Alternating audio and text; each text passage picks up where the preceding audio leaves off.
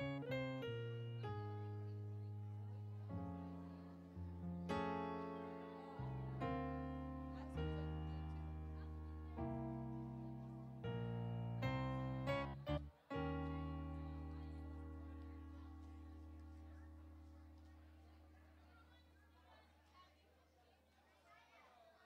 mm -hmm. you.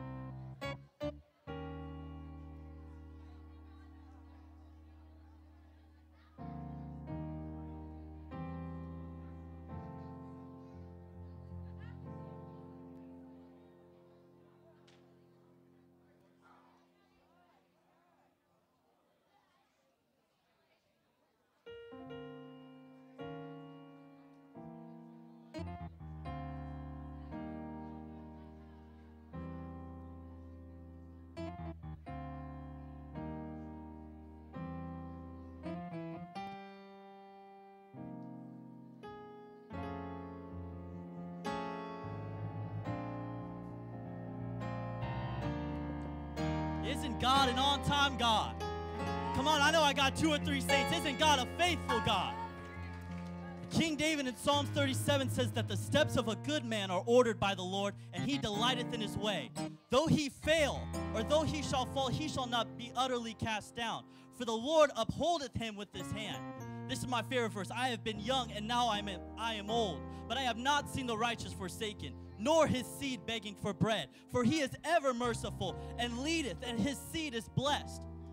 You know what, church? God is a provider. Sometimes you got to look at that old devil and says, my God is more than enough. Like that old song, He can supply my every need. He is my El Shaddai. He's always looking out for me. You have an opportunity today to worship Him. Let's take that in Jesus' name.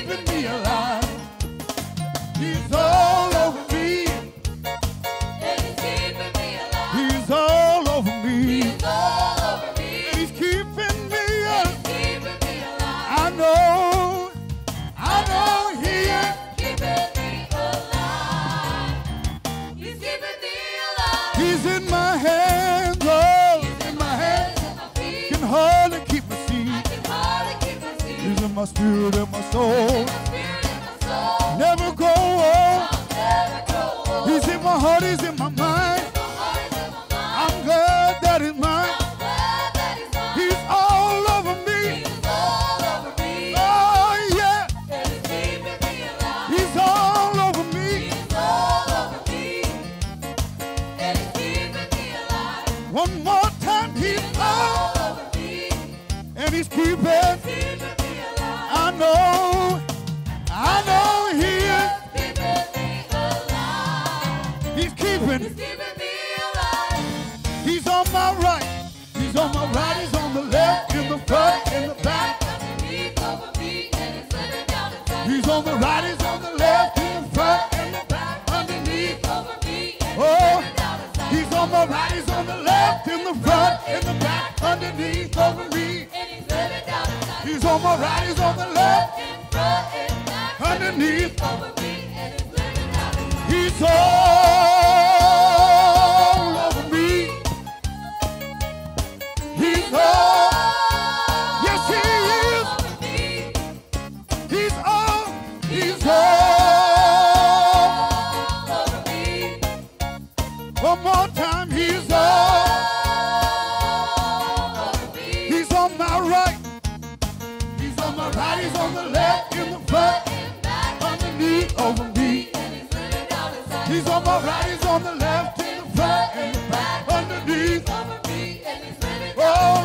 All eyes on the left and the front, underneath the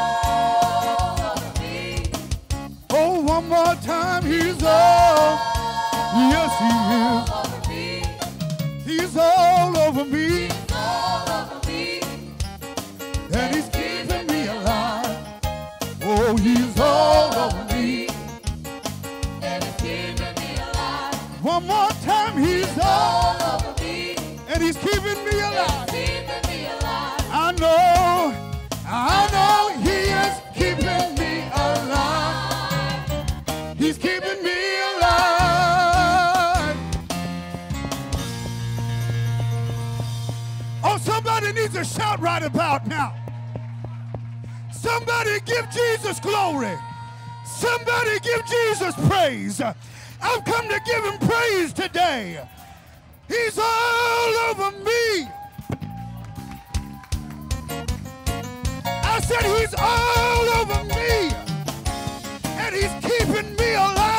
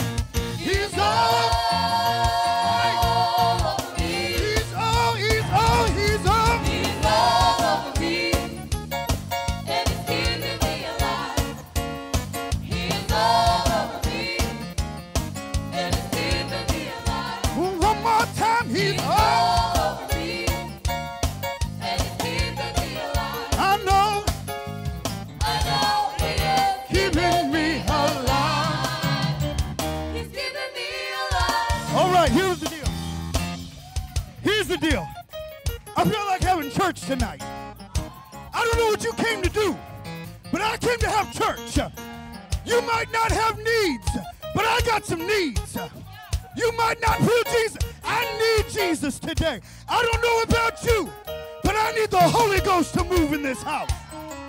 Anybody else need the Holy Ghost to move? So here's the deal. The band is going to play, and they're going to play in the Holy Ghost. And when they do that, I want the church to respond in the Holy Ghost. Somebody needs to get out and dance. Somebody needs to put their hands together. Are you ready, saints? Come on. We're about to have some church in here. It's a Tuesday night.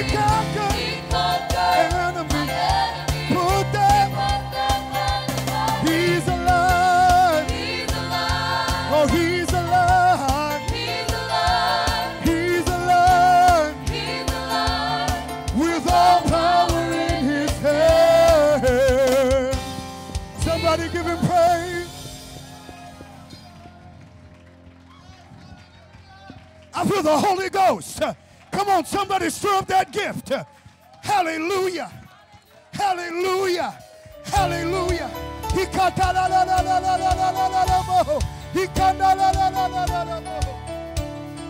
God is fighting for us. God is on our side. He has overcome. He has overcome. We will not be shaken. We will not be moved. Jesus, you are here. Carrying all of our burdens.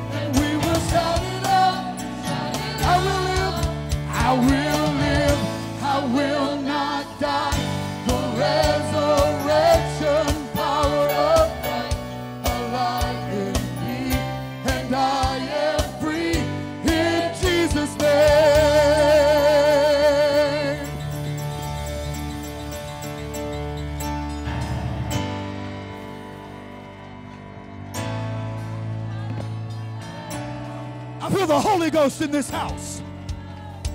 Come on, every saint in this house, lift your hands and lift your voice. Lift your hands and lift your voice.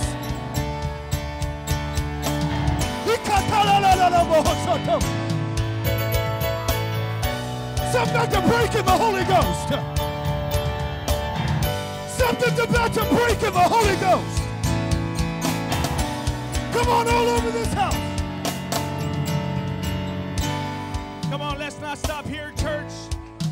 Couple needs. We have a couple prayer requests we want to lift up unto the Lord in this atmosphere. Dr. Adam Chantel, Tanya's old boss, current boss, has a very close friend. They're going to have a heart surgery. His name is Clark. He has heart surgery tonight at 8 p.m.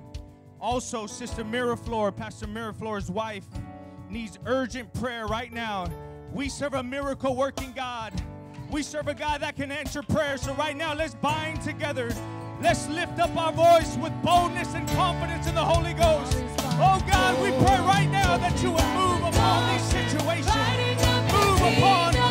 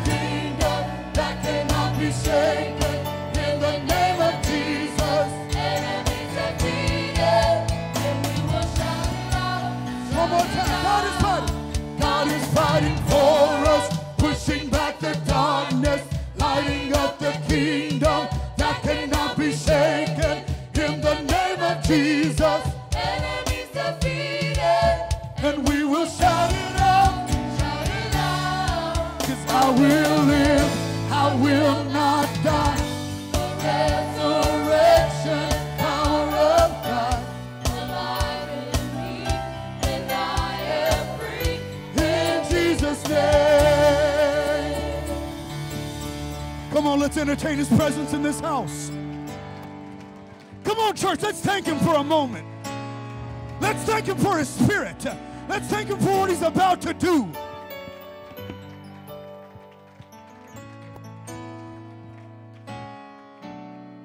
Yes, one more time as you make your way back to your seats.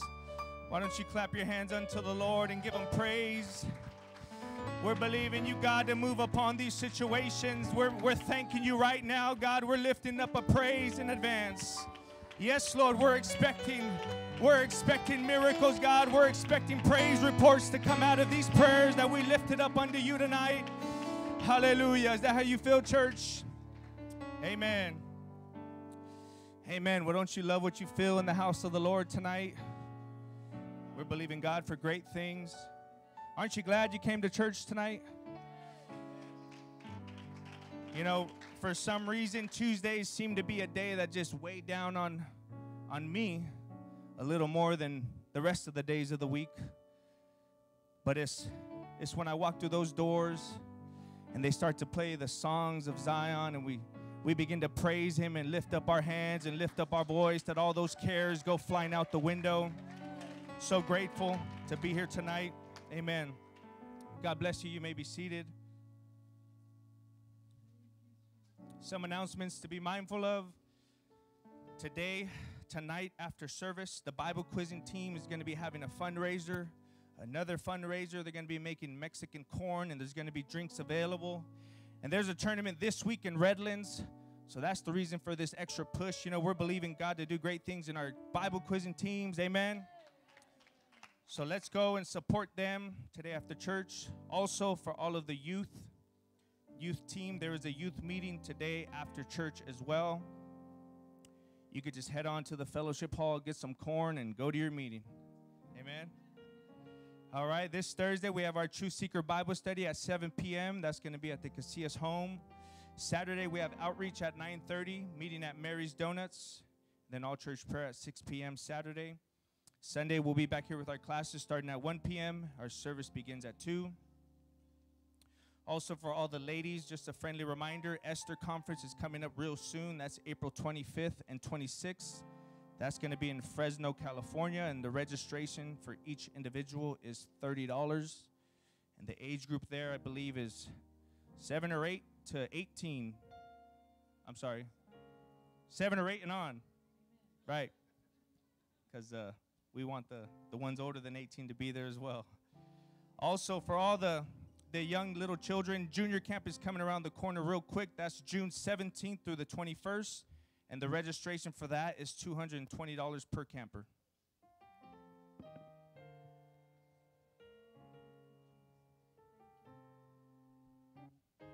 Well, I was glad when they said unto me, Let us go to the house of the Lord. Amen. What a joy it is to be in the house of the Lord with God's people. And I sure missed being here Sunday, but I, I got to be here kind of because our time zones were so different. And we had already had church in the morning, and y'all cranked it up at 2 o'clock and uh, and and I got to be online with you, and I am telling you, y'all Evermore had church. I mean, the place was on fire, and then Jonathan preached like he was on fire. He was. And I even I even sent a message text to the to the altar uh, music and song selecting team. I said, Y'all picked the perfect altar call song for that message. I mean, everybody was just flowing in the Holy Ghost.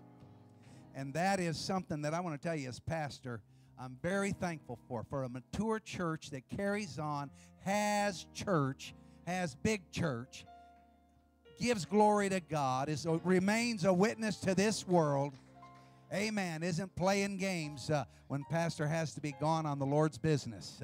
And so uh, I'm, I'm very thankful. And I also want to say thank you to all of the uh, those that worked, all the men, and if there were any women that worked helping to kind of clean the, the place up, do some yard work and weed eating and and just clearing things up, getting kind of a spring cleaning time.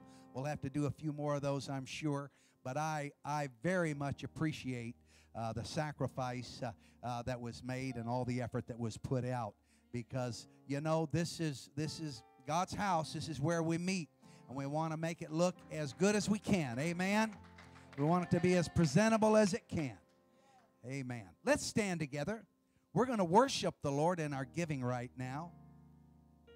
And you know God is a blessor by nature. That is just what he is. It is it is part of his character to do good things and to be abundant, to bless his people. And how many have found that God indeed is good to you? Has God been good to you? Why don't you wave your hand? God's been good to me. He's been better than I deserve. And we're going to worship the Lord in our giving. And uh, and so let's pray together that God will bless this offering, multiply it for his kingdom's sake, and I pray multiply his blessings back to each one of this congregation. Let's pray together. Lord, we are thankful to be in your house. We're thankful for your spirit. We're thankful, oh God, that you've called us out of darkness into this marvelous light. And Lord, your blessings that are new every day and your goodness to us. We ask you to receive this offering, these tithes, uh, what all is brought into your storehouse. Bless it, multiply it, uh, and multiply it back to your people. And everybody say, in Jesus' name. Let's all march as the ushers direct each row.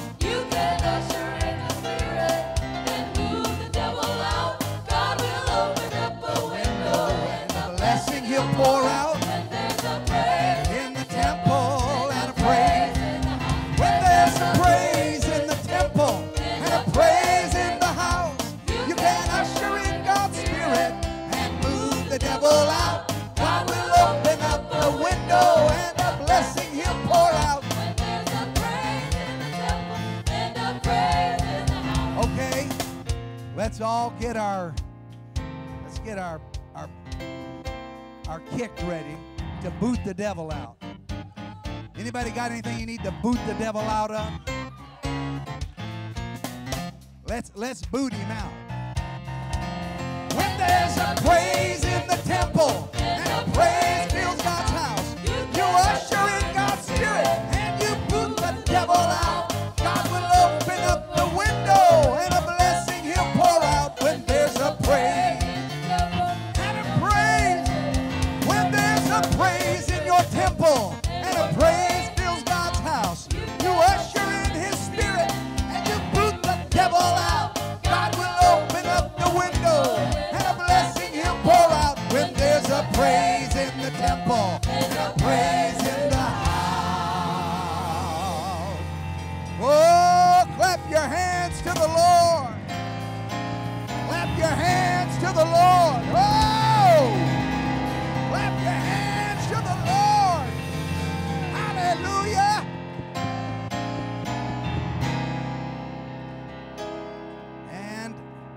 we are blessed.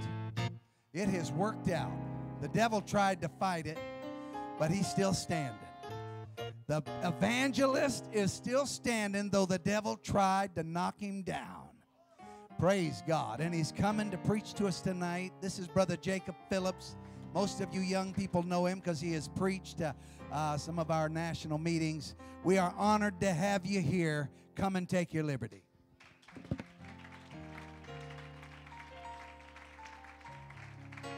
While you're clapping your hands, why don't you lift your voice and give Jesus a shout of praise? Hallelujah. Thank you, Jesus. Thank you, Jesus.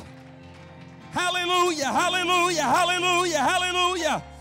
Come on, somebody bless the name of the Lord with me right now. Exalt his name and give him praise. Hallelujah, hallelujah, hallelujah. Boy, it feels good in the house tonight, and there's just no telling what God's going to do. I thank God I'm not, but if I was the devil, I'd be putting up a big old block fence right now, trying to keep him, trying to keep this church out of going into his territory and taking everything that he's stolen, then some. Hallelujah. I, you know, I, I understand the concept. We want everything back. Well, I'm going to just tell you that the devil's got some stuff that I never had that I want to. You think when David went back and the Amalekites came from Ziklag and he, they took everything from him, you think he just went back and got what was his? Mm-mm. The Bible talks about no man's uh, no man will spoil a strong man's house unless he first binds the strong man. We get so caught up on preaching about and singing about and shouting about binding the strong man that we forget it's not about binding him, it's about the spoil that he's got. And I'm just telling you, there's some spoil of war that I believe somebody's going to go and get. And you're going to leave here tonight walking in victory, walking in deliverance, walking in dominion and authority. Woo! Amen. The book of 1 Samuel, chapter 1. While you're turning there, let me say what an honor and a privilege it is to be with you here today. I love and appreciate your pastor. We have known each other for, from a distance for quite uh, some time. My wife, she's mean to me sometimes, and she tells me that I'm intimidating. And I'm like, I don't know why I'm intimidating. I'm, just, I'm a big old teddy bear. I might bite you, but but uh, when you walk in the presence of the good pastor of this church, you know you've came into the presence of a man. And that's the kind of men I like being around. Amen. Amen. And it is obvious that there is somebody here that is standing in this pulpit and preaching the word and pushing this church to the next dimension. Amen. I promise tonight not to preach too long, but I am going to preach long enough to get uh, what I feel like God's given me across. It may take me a minute or two to go to get going tonight, and I apologize for that. Uh, I'm suffering with a bout of uh, food poisoning, uh, but God's still good, and He's still on the throne, and and we're just going to keep on having church, and God's going to be on the throne tomorrow, and then God's going to be on the throne the next day. So I'm not worried about all that. Amen. 1 Samuel chapter 1, verse 1. Now there was a certain man of Ramathaim um, Zophim of Mount Ephraim, and his name was Elkanah, the son of Jeroham, the son of Elihu, the son of Tohu, the son of Seth, an Ephrathite. And he had two wives for the for the love of God. I can't figure out why he did, but he did. I can't keep up with the one I got. Love her heart. The name of the one was Hannah, and the name of the other was Peninnah. Peninnah had children, but Hannah had no children. This man went up out of his city yearly to worship and to sacrifice unto the Lord of hosts in Shiloh. And I want you to pay close attention to this, and I really hope we get to deal with this tonight. If we do, it'll be fun. If not, uh, maybe if I do good enough, maybe Pastor will let me come back at a later time and deal with it. But it makes special mention that the sons of Eli, Hophni and Phinehas, were there as well. Priests of the Lord, they were there. Bible says in verse 4 when the time was that Elkanah offered, he gave to Peninnah his wife and all of her sons and her daughters portions. But unto Hannah, I want you to get this, unto Hannah he gave a worthy portion. For he loved Hannah, but the Lord had shut up her womb. The devil didn't do it, the government didn't do it, God did it. God shut up her womb. I want to preach to us tonight for the next few moments with your help and the help of the Lord about the journey from barren to blessed. The journey from barren to blessed. Would you help me right now one more time by lifting your hands to heaven? And while you've got your hands in the air, why don't you lift your voice? Just begin to ask the Lord that He would help us. God, we need you. We want you. We can't do anything without you. We're asking you, Lord, to have your way in this house. Let the anointing of the Holy Ghost destroy every yoke. God, I'm asking you that tonight somebody would leave here with a new mindset. They're not staying in barrenness forever, but they're going to a place of blessing. They're going to a place they've never been before. In Jesus' mighty name we pray. Would you clap your hands, all ye people, and shout unto God with a voice of triumph one more time? Hallelujah!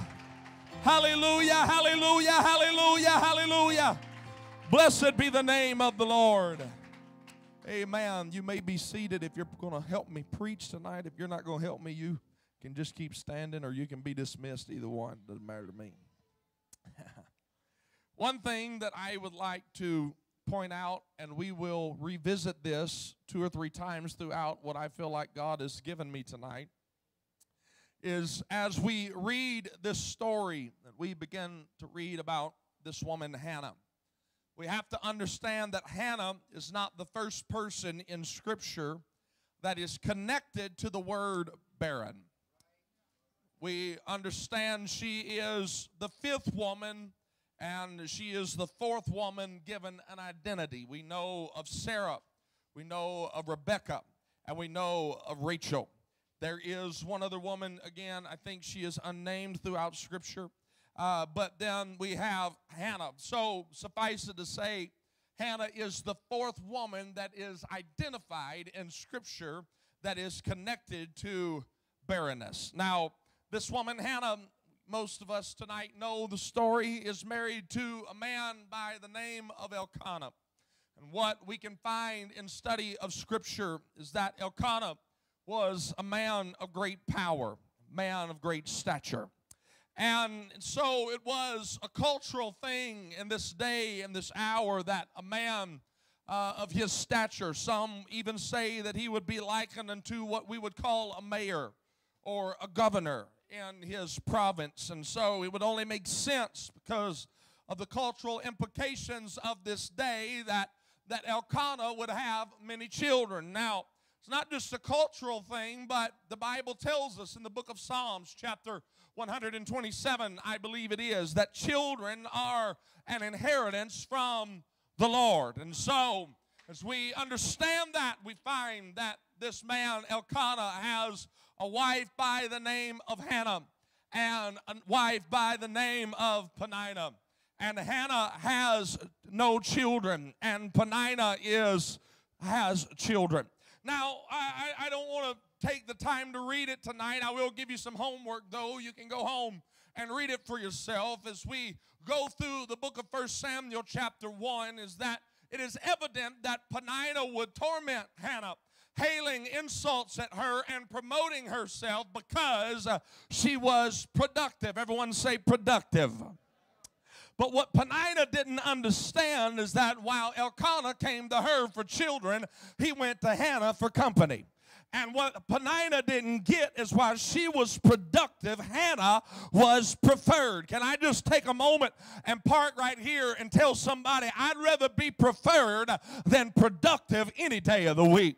Uh, what are you trying to tell me? I'm telling you tonight that the favor of God is bigger than every shortcoming that you have in your productivity. That the favor of God is bigger than anything that you can't do on your own. You might not be qualified for the job job. Uh, you might not be qualified for the position. Uh, you might not have enough money or enough smarts. But can I tell you uh, that when you walk in the favor of God, uh, it doesn't matter if you're productive or you're not, because God uh, knows how to get greatness out of the gutters. Uh, God knows how to find people that are in the midst of mess, in the midst of chaos, in the midst of struggle and trial and tribulation, and elevate them to a place where they're not only preferred, but then they're productive too. I'm just here to tell somebody today uh, that the enemy's been sitting on your shoulders uh, and telling you you'll never accomplish anything for God, uh, that you are still uh, preferred. Uh, don't you let the devil convince you uh, that you need to sit on your pew and fold your hands and quit church because you're not productive. You're going to get productive one day, baby. Just walk in your preferred season. Walk in the season season of favor. Uh, walk in the season uh, where God has his hand on your life. Why is this important? I'm going to get a little ahead of myself, but we'll reverse engineer it as we go tonight. Why is this important? It's important because you have to understand that there was something inside of Hannah that decided to just be happy being preferred. She just she just kept going to church, Pastor Bertram. There was nothing that could stop her getting in the presence of the Lord. And when you have that attitude, and we're going to preach about it tonight, uh, but when you have that attitude, uh, there's not a devil in hell and out of hell uh, that can stop you from walking from preferred uh, to productive. Uh, there's not a devil in hell or out of hell uh, that can stop you from walking from favor to the ultimatum of being blessed. Hallelujah. Hallelujah. Again, it is evident as we read scripture that she had someone in her life that would not relent, that kept on telling her, You're not productive. You're not what Elkanah wants you to be. Don't you wish you were like me, Hannah? Don't you wish you had children like me? I just tell somebody something tonight. Just keep doing what makes God happy.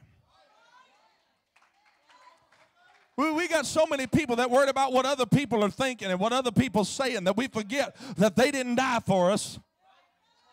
They didn't shed their blood. They didn't go to a hill called Calvary. They didn't stretch their arms wide and let them put nails through their hands uh, and nails through their feet. I'm going to tell you the truth of the matter is the closer you get to blessing, uh, the more haters are going to attach themselves to you. But Somebody needs to have an attitude in here tonight uh, that said, I will not let my haters stop my hallelujah. I will not let my haters stop me from having hope. I will not let the fakers uh, stop me from having faith. Uh, you can laugh at me, uh, you can mock me, you can make fun of me, but I'm going to show right back up on Sunday morning and I'm going to have a praise on my lips. I'm going to show right back up on Sunday morning. I might be barren, but I'm working towards the blessing. Hallelujah. What makes, again, what makes this so ironic is that Hannah is not the first person that has ever been here. Woo. I feel like I might hurt somebody's feelings right here. But you're not the first person that's ever been depressed. I, I, I, know you come to church with a chip on your shoulder. I, listen, I don't know none of y'all, and so this if, if this hits you between the eyes, if the shoe fits, wear it. But we got a lot of people that come to church with the attitude, Sister Bertram, that I'm the only one Nobody knows the trouble I've seen. Nobody knows how long I've pressed. Nobody knows how much trouble's going on in my family. No, no, there ain't nobody ever had to deal with being broke like me. You know, in, in reality, I can see myself in the life of David sometimes, and I, I know David's a Bible character that we heroize, but, but I just be honest, I don't like David as a person. I like him as a Bible character, but I don't like him as a person. He's always taking other folks' wives, fighting people. David kind of has this attitude consistently that I'm the only. Nobody has problems like David has problems, but nobody has victories like I got them either. Matter of fact, when you start reading about David, and we're going to talk more about David here in a little bit tonight, David, if David was alive in 2024, David would be on medication. Nobody knows how bad I got it. Listen, I know I'm trying to make it a little comical, but the truth of the matter is, is some of you have looked yourself in the mirror and you felt so sorry for yourself because of what's going on. But I'm just here to tell you tonight, you're not the first person that's ever had to deal with chaos. You're not the first person that ever had to show up at church uh, and your world come crashing in. You're not the first person. So we, we, we got to back up. We got to rewind. We got to find out what, what is God doing through the story of Hannah. And, and, and so we know that Hannah's not the first person that's ever dealt with, with barrenness. The first person that we can talk about in Scripture that is dealing with barrenness is a woman by the name of Sarah. And, and again, I, I don't think we really understand because in our westernized ideas, it, it was a cultural problem if you were barren. It, it, it, it was a, uh, an issue that people assumed uh, that you had played the harlot and it was the curse of God. So imagine the shame that you got to deal with because of barrenness. Imagine the guilt that maybe you didn't even do anything wrong, but everybody's looking at you and assuming that you were, were a lady that had no business being married to a man like Abraham. Sarah, when she is barren, here's the issue she tries to get around the will of God by letting Abraham have a son with her handmaiden. She tries to get around the process. Everybody said the process. She tries to get around the process by trying to have a baby through somebody else's womb.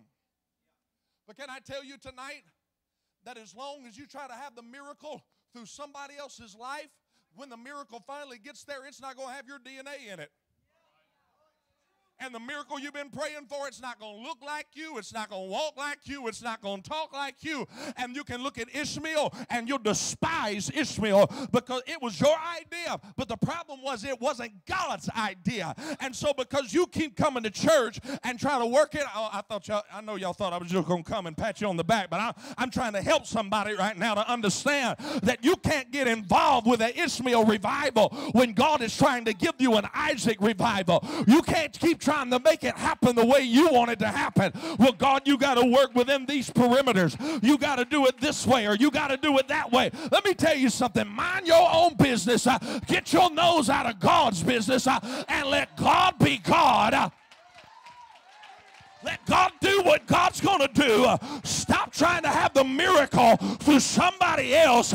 That's your ministry. That's your breakthrough. That's your blessing. That's your anointing. And I'm not going to let Hagar have what God told me I can have.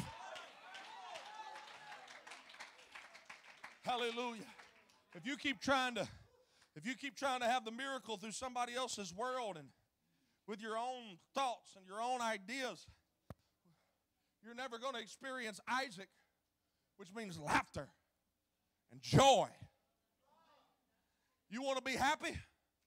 Stop comparing yourself to everybody else in the church.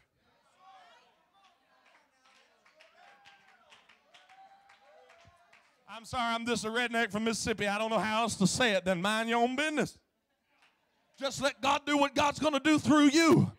Listen, if you're not careful, you'll come to church and you'll compare yourself to where everybody else is. And you'll say, well, they're blessed in a way that I'm not blessed in. But what you don't know is that God sees the end from the beginning. Uh, and if you just keep on holding to the unchanging hand of God, uh, God's going to bring you and elevate you uh, to the same place or even greater than who you're comparing yourself with.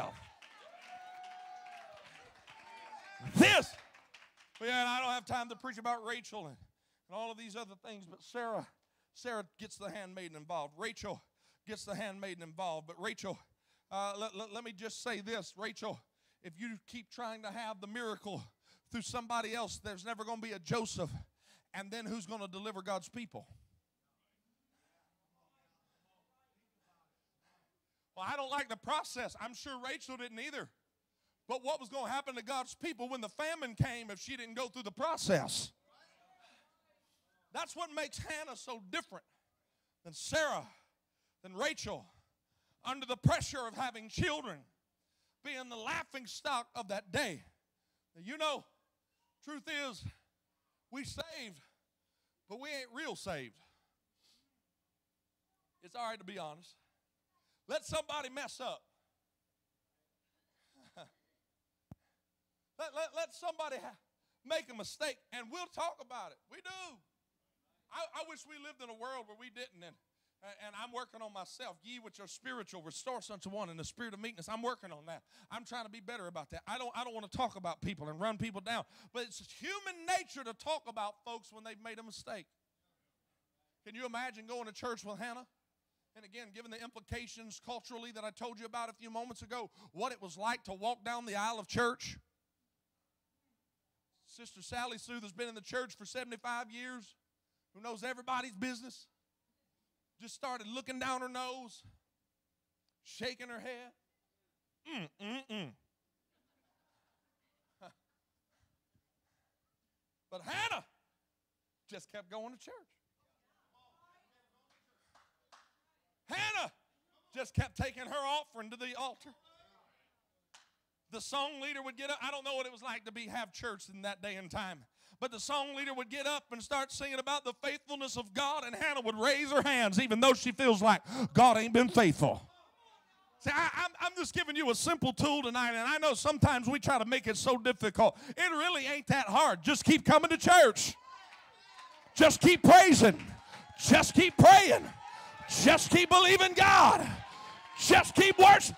Listen, we don't have to make it harder than it is. If you just keep on showing up, God will keep on showing up. If you keep on doing what you're supposed to do, God will keep doing what. Hey, I'm here to tell somebody tonight you're making another step in the journey uh, because you make it up in your mind right now. I'm the devil, I'm not quitting. I'm not throwing in the towel. I'm coming back to church uh, and I'm coming back with a praise. Uh, I'm coming back to church with my hands lifted lifted high. This is this is the part of this we don't like. Hannah went to church, and Peninnah went to church with her. Woo. I don't know who started that false doctrine that once you get the Holy Ghost, all your problems disappear. But I would love to wrap my left hand around their tie and extend the right hand to fellowship. I, I don't know who started that mess, but Hannah went to church and her problem went to church with her. See, here, here's, here's where some of us are living right now because we've been, we've been faithful. But it seems like now Peninnah sitting on the pew right next to it. Don't look at your husband, your wife. That ain't the problem. I can't even get a word from God because Peninnah's right here bumping them jaws. Don't you wish you had children like me? Don't you wish you were blessed like me? Hannah's trying to pray at prayer meeting, and Peninnah went to prayer meeting. Hannah's going to the altar with a lamb, and Peninnah's right there beside her with a lamb. Don't you wish you had children, Hannah? And I can just imagine Hannah kind of getting a little attitude like some of us sisters will do sometimes. I know, I, I know you've saved, sanctified, filled with the Holy Ghost, but some of our sisters in the church, they'll, they'll come to church with a little attitude. Woman, let me tell you something. You know what? I wish to God you'd get that kind of attitude with the devil. Somebody will mess, this men, women alike, somebody will mess with your kids and you'll go off, put your Holy Ghost down and say, I'll pick it up on the way out the door. I wish to God you'd get that kind of spirit with the devil and say, Devil, I'd rather be chosen and childless than fruitful and forgotten. If I don't have a child, God's in control of that. If I don't have a blessing, God's in control of that. But I'm not going to stop coming to church. Here, I'm trying to help somebody. Y'all sit down. Y'all keep doing that. I'll preach all night. Hannah never stopped doing what was right. Now, here's the thing this is where the devil will jump on our shoulders and say, Yeah, but you're letting your emotions get all in the way. But in 13 verses, listen to this. In just 13 verses, listen to the emotions that Hannah has to deal with. She was provoked, she wept, she didn't eat, she had sorrow, she was grieved, she was bitter, she was afflicted and accused in 13 verses. One church service. She came to God and was provoked, and she wept, and she couldn't eat, and she was sorrowful, and she was grieving, and she was bitter, and she was afflicted. And then if that ain't all, oh, well, let, I, I, I was hoping I'd get to it. Here we go. The Bible, again, it makes it makes special mention that Hophni and Phineas are there. Now you know who Hophni and Phineas' dad is? It's Eli. Eli comes to church and sees her in the front acting like a fool and says, You woman, why are you drunk? What's wrong with you? Why are you acting like that? I, I will present to you tonight that Eli had done let the water get a little muddled and he couldn't tell what was of God and what was not. Watch this. You ready for this? God gives her a promise of a son. And she says, If you give me that son, I'm going to bring him right back to the house of God. Well, guess who's going to raise Samuel? Eli. Eli failed as a father. And the and the maternal instinct should be I'm not taking him to him. You don't think Hophni and Phineas, you don't think everything they've been doing done spread through the whole country? Let, let a banker have an, an adulterous case, and, and nobody talks about it, but let it happen to a preacher. That's what they were doing. You think I'm taking that out of context, Pastor? I, I, I, just, I just see this. She knew what these men had done. I even wondered, this is just my little Sunday school brain. Y'all had to bear with me. I was held back in the primary class. I've had a long time to think about this stuff. But I even wonder if maybe Hophni and Phineas made a pass at her. Hey, good looking. She had to bring Samuel back to Eli, knowing that Eli had failed as a father. And this is where we'll be in the house of God, God will give us a promise and we'll tell God, I'll do this. But then we'll start looking around at the church and say, Well, God, I would have, but they did that. Ooh, I'm in somebody's corn patch right now. I just feel like messing around a little bit here. Well, if I hadn't been hurt by the last preacher, I'd pay my tithes. If I hadn't been hurt by the, the last preacher, I'd come to church faithful.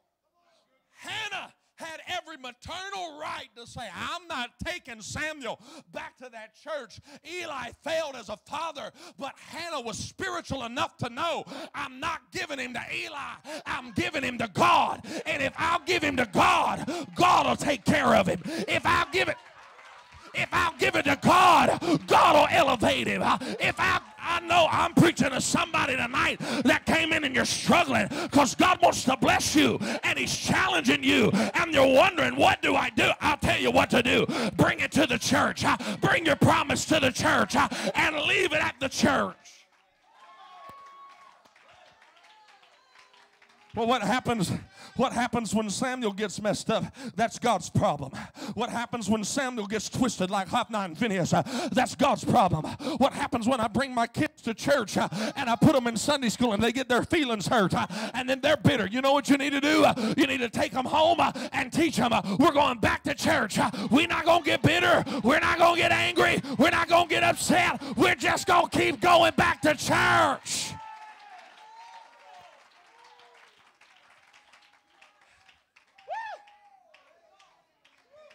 Consistency means something to God. Hannah, I'm going to give you a baby. I'm going to give him right back. This is what makes Hannah's story so different than everybody else. Than everybody else that's been dealing with barrenness. She just keeps going to church. And watch. Watch what happens. When Sarah has a baby, Pastor Bertram, you know how many she has? One.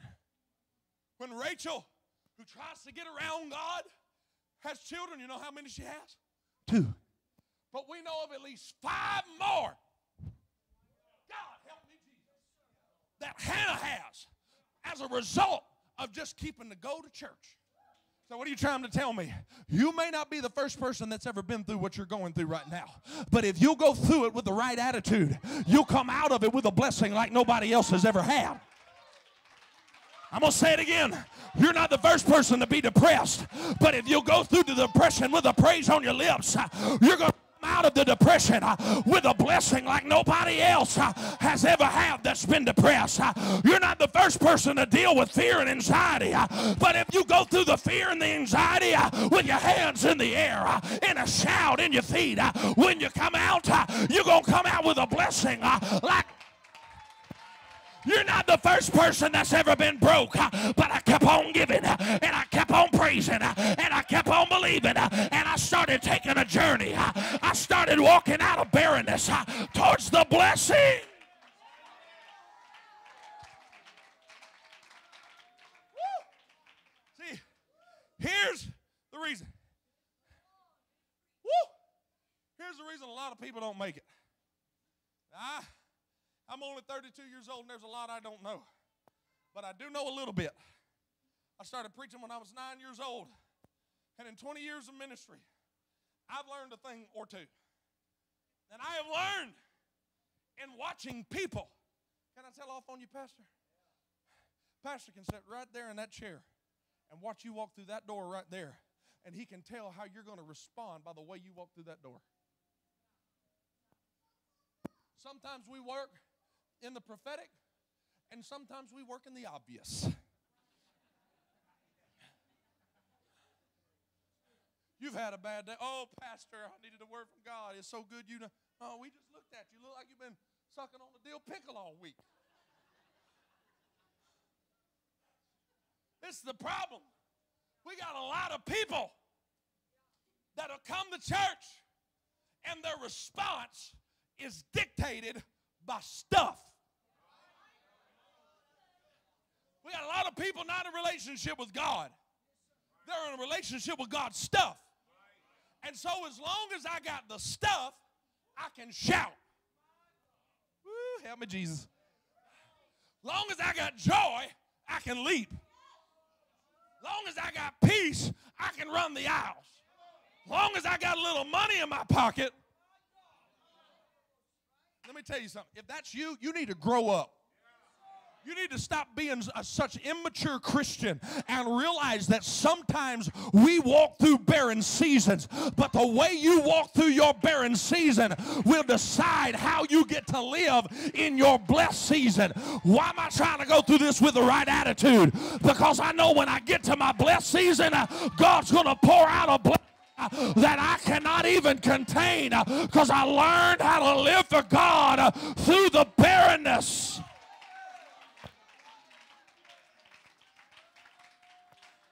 I made up my mind a long time ago. God, I'm thankful for your stuff.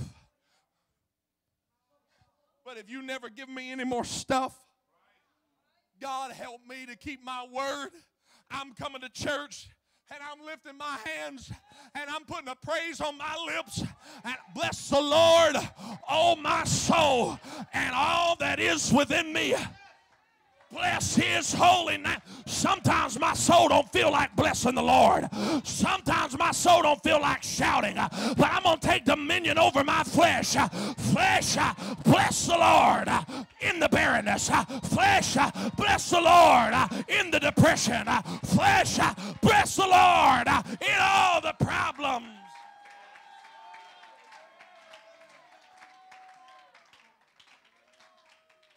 I'll be honest with you.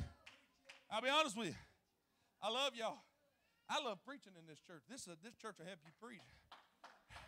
I love y'all, but I didn't want to be here tonight.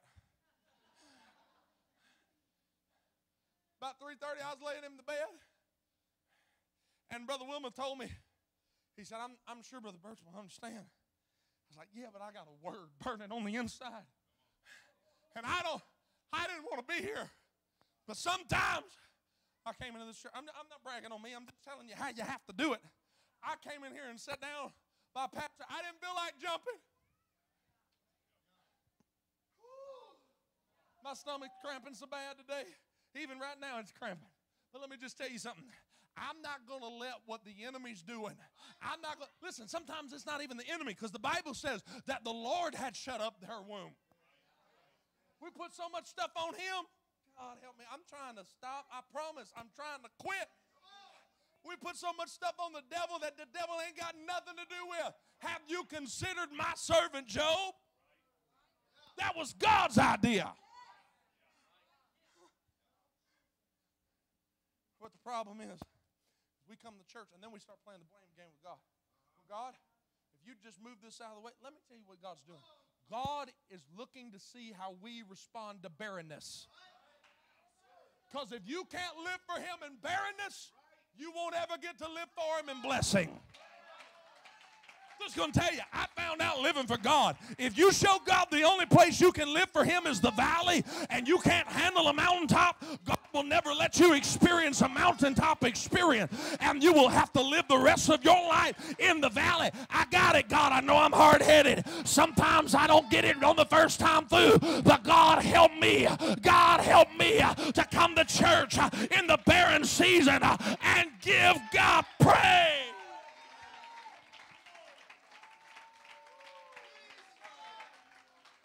I'm going to help somebody tonight.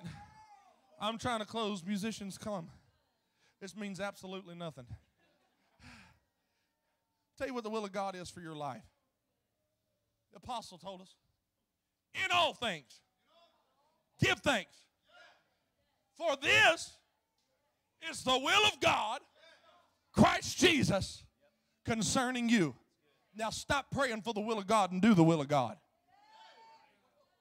Well, I don't want to move until I hear from the, I, until I hear from the Lord. Listen, when God's not talking, you just need to be like Hannah and just show back up in all things. Uh, give thanks, uh, for this is the will of God. I, I, I don't understand what I'm going through, uh, but I'm coming to church and I'm gonna give God thanks. I don't I don't understand how this is working out, but I come to church and I'm giving God thanks. Watch this. Watch this. I promise. I'm closing. I, am entitled to three closings. This is my second. Hannah, with the spirit of thanksgiving. You know that's one of the signs of the end time? Men would be unthankful. Hannah said, I'm just, I'm just glad to be at church. Yeah, I, I got every reason in the world to backslide, I'm but I'm glad to be here. Do you know that little old Hannah changed the entire dynamics of the rest of the Bible? Hannah. I don't believe that. Let me give you Bible for it. Hannah has a son. His name is Samuel. Samuel anoints a knucklehead king over Israel. He starts messing up. God says, Take you a horn of oil and go down to Jesse's house and anoint the next king of Israel. He walks into Jesse's house. He sees Eliab and he said, Surely the hand of the Lord is upon him. He's tall like a king ought to be tall. He's good looking. Got pretty teeth. He's productive. And you know what God says? Man looks on the outside. Help me, Jesus. But I look upon the heart. You know what that is? That's the story of Hannah and Peninnah playing out in the life of David. And, and, and so Samuel, I, I wonder if Samuel started thinking about all the stories that his mama had told him when she came to visit him once a year and brought him a coat and said, I remember when I didn't have anything. I remember when I was broken and barren, but I kept on giving God prayer. I wonder if right there the spirit of Hannah came on Samuel. Because you read your Bible, she don't check up for none of the rest of the brothers. He don't check up for one of them. He walks past the, that ain't him, that ain't him, that ain't him, that ain't him. Jesse, don't you got one more? Yeah, I, I got one more. But he's kind of ruddy. And he ain't worth much. But all he's worth is watching sheep. Go fetch him. Woo. He ain't, he ain't productive now, but he's preferred. He don't look like a king yet. He don't walk like a king yet. He don't even think like a king yet, but he thinks like a shepherd. And a shepherd knows how to lead sheep. And if a shepherd can lead sheep, then a shepherd can lead a kingdom. David, I'm gonna take what I put inside of you and I'm gonna I'm gonna elevate you. Listen, I'm gonna mess with your theology. This is my third closing. I might have to borrow one from the next time I'm gonna be here. David gets in the streets and starts dancing. Woo! It's hallelujah time. The presence of the Lord is coming back to the city of David. And I know, I know we've preached it, but in my opinion, we've preached it wrong. That Michal looked down out of her window and saw David shouting and despised him because he was a worshiper. But if you go to 1 Samuel chapter 18 and verse 20, and- well, in this story, where, where she looks down from her high horse, if you let me just put it like that, she looks off of her high horse, and the Bible says, and she despised David in her heart. She hated him. But go to 1 Samuel chapter 18 and verse 20. You know what the Bible says, Sister Bertram? That Michal loved David. Watch this. You know what is recorded in, in that chapter? David driving out spirits from Saul. Now, I don't know if you know this or not, but you can't drive out evil spirits with old time rock and roll. David, Brother Bertram, I know you're from the, the area I'm from, or you spent some time there anyway, in, in the South. But, but, but David didn't drive those evil spirits out listening to Led Zeppelin or Lynyrd Skynyrd, any of them guys. He, wouldn't, he was playing the song, The Lord is my shepherd. I shall not want. They was playing songs of worship.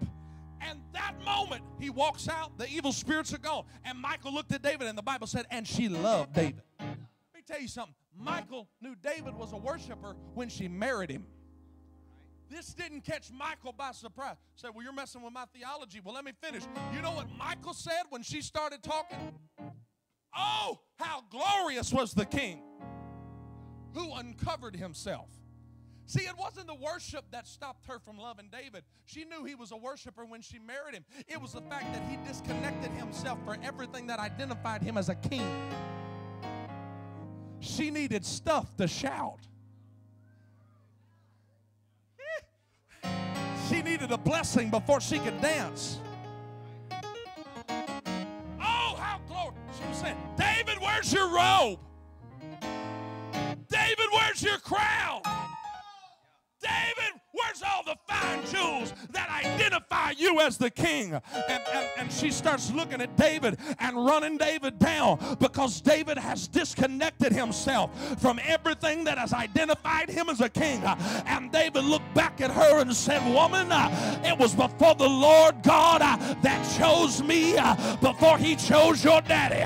You know what He was saying? I remember what it was like to be buried. I remember what it was like for nobody to know who I was. Uh, I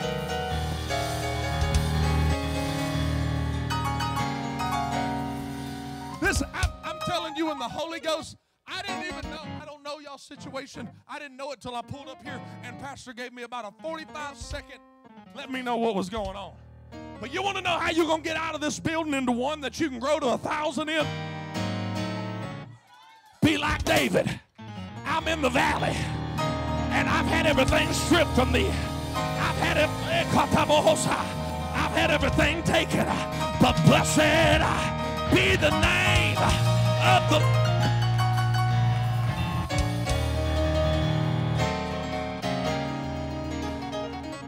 and I will be more vile than Dutch. Baby, if you think I shouted today, you just wait till tomorrow. Because I don't need the stuff to shout. Got a God that's worthy of my praise, even in the barrenness.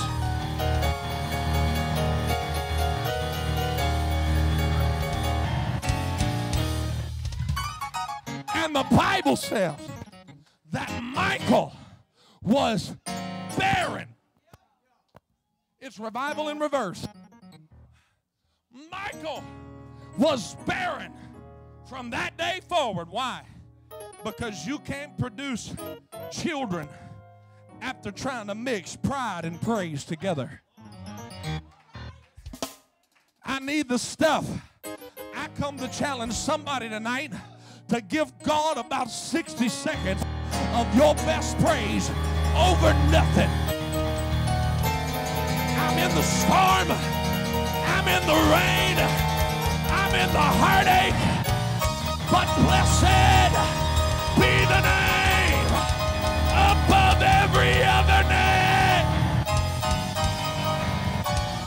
Blessed be the name of the Lord.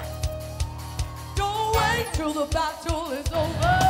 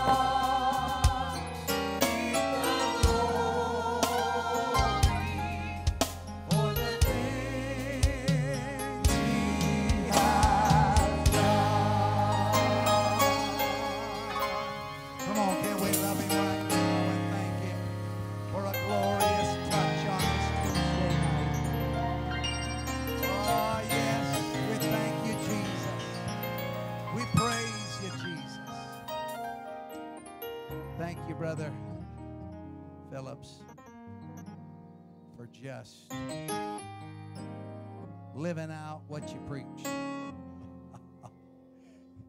go to church anyway.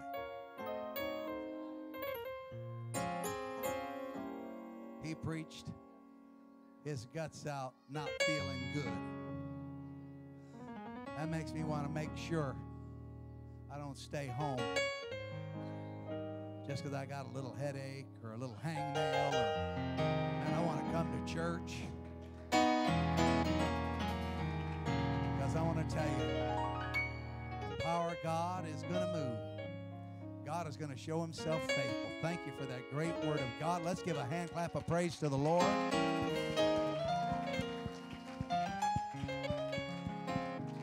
Such a powerful move of the Holy Ghost on our children. I'm going to tell you there were breakthroughs tonight. Breakthroughs. Another generation.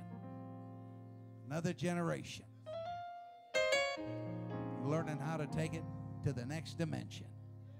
Amen. Shake hands and be friendly. You're dismissed in Jesus' name.